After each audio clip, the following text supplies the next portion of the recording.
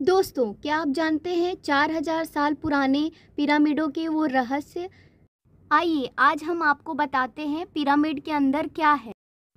दुनिया में कई ऐसी जगहें हैं जो अपने आप में कई रहस्य समेटे हुए हैं। उन्हीं जगहों में से एक है मिस्र और वहाँ के पिरामिड। मिस्र की सबसे रहस्यमयी कलाकृति है the great pyramid of Giza, जो दुनिया के सात अजूबों में से एक है। वैसे तो यहाँ के पिरामिडों का इतिहास 4000 साल पुराना बताया जाता है, लेकिन आज भी इन पिरामिडों से जुड़ी कई रहस्य हैं, जिनके बारे में सही जानकारी किसी को भी नहीं है। बताया जाता है कि गीजा का महान पिरामिड 2560 ईस्वी पूर्व में बनाया गया था।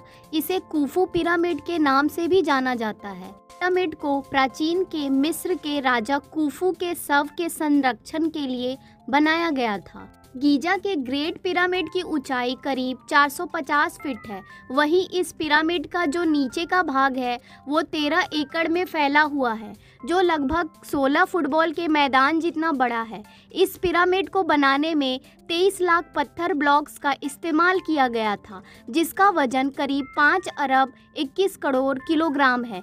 इन पत्थरों में लाइमस्टोन और ग्रेनाइट शामिल है। इस पिरामिड को बनाने में इस्तेमाल किए गए पत्थरों का वज़न दो टन से लेकर तीस टन और कुछ पत्थरों का वज़न तो पैंतालीस हज़ार किलो तक है। इसमें सबसे हैरानी की बात तो ये है कि आज के समय में भी किसी क्रेन से अधिकतम बीस हज़ार किलो तक का ही वज़न उठाया जा सकता है। तो उस समय पैंतालीस हज़ार किलो वज़न का पत्थर कैसे उठाकर लाया गया होगा? गीजा के ग्रेट पिरामिड में कुल कितने तहखाने हैं, इसके बारे में तो कोई नहीं जानता, लेकिन अभी तक के शोध के मुताबिक इनमें तीन तहखाने मिले हैं।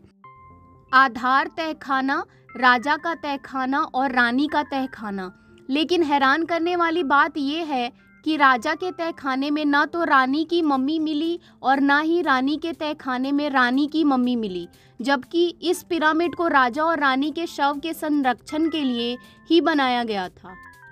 इन पिरामिडों को ऐसी जगह पर बनाया गया है कि इन्हें इजराइल के पहाड़ों से भी देखा जा सकता है।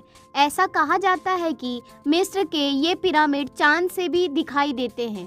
गीजा के पिरामिड को इस तरह बनाया गया है कि इसे अंदर का तापमान हमेशा नियंत्रित रहता है।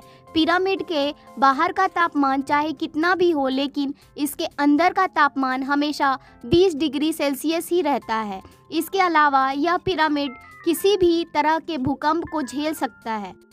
द ग्रेट स्फिंक्स पूरे मिस्र की सबसे आश्चर्यजनक मूर्ति है, जिसके बारे में आज तक कोई नहीं जान पाया है।